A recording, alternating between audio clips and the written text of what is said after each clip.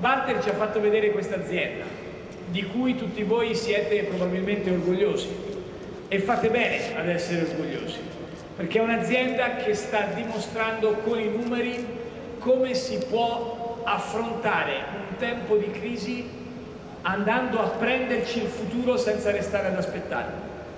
È un'azienda che è l'azienda che forse più di non tutte le altre, ma più di tante altre, ha colto l'occasione dell'Expo, il padiglione Italia, il padiglione degli Emirati Arabi Uniti e con tutto quello che poi sarà interessante per l'Expo di Dubai del 2020, il padiglione della Bielorussia, poi in quelle Svizzera, la Svizzera, Germania, li fate, fate tutti dei Germania, Cina, Svizzera. Nove padiglioni, fatevi un applauso perché è segno che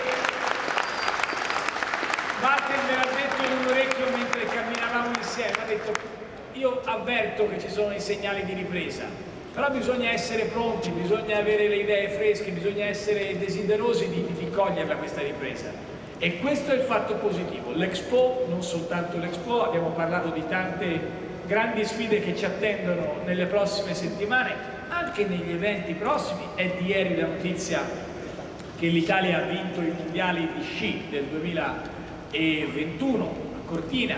Insomma, ci sono tanti segnali che il Paese ha voglia di ripartire.